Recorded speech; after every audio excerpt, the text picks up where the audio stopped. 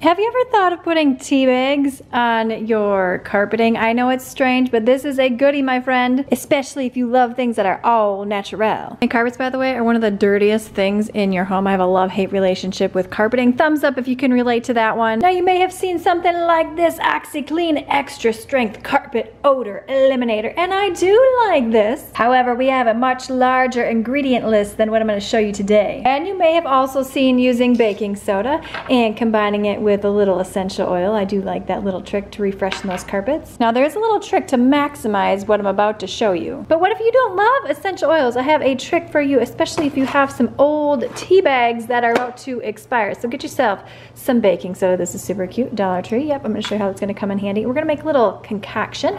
You can make this as diluted or as fragrant as you want to. I'm gonna use two tea bags today. You will wanna make sure that your tea bags are dry. By the way, have you ever opened a tea bag? Yes, here we go. We got very nice sachet right here. A little is gonna go a long way. And we're doing mint medley. I'm gonna add just a little bit more baking soda. Oh yeah, and we're unlocking freshness all the way. A nice little stir. Oh yeah. Dun dun dun dun. All right, Put this all over your carpeting. Here's the key. You wanna let this sit for about 20 minutes, just like you would any regular old carpet cleaner or longer, depending upon how smelly your carpeting is. Yep, let that sit. Time's up, yeah, baby.